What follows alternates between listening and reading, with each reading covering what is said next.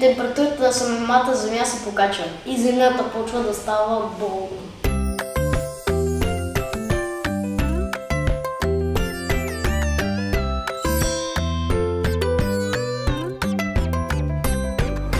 затопляне на Земя по цялата Земя, което, което е причинено от хората. Когато температурата на Земята се повиши. А някои хора изкопават нали, въглища, петрол и други неща и се качват въглеродните диоксидчета. Те откъде са започнали? Винаги ли са били толкова много в атмосферата? Не, ние ги изкарваме, тъй като те всъщност ги има и в полезните изкопания.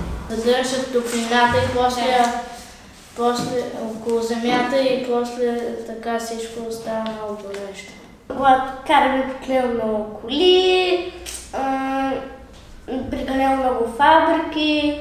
1850 година има така, започват да много да, започ... да откриват машините и така от, от тогава започват да замръсяват а, природата изцяло много по-бързо, отколкото преди. И затова трябва да спрем глобалното затъпляне, защото дори в момента се топи сигурно някой ледник.